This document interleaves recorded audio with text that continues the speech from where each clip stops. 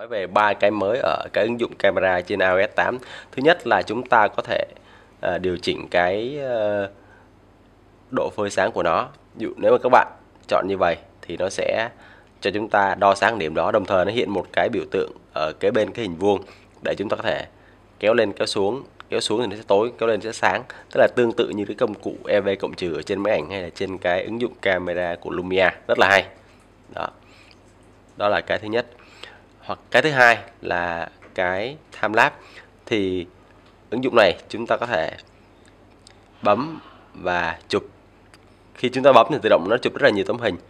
Và tí xíu nữa nó sẽ ghép lại thành một cái video. Đó, xong. Các bạn xem.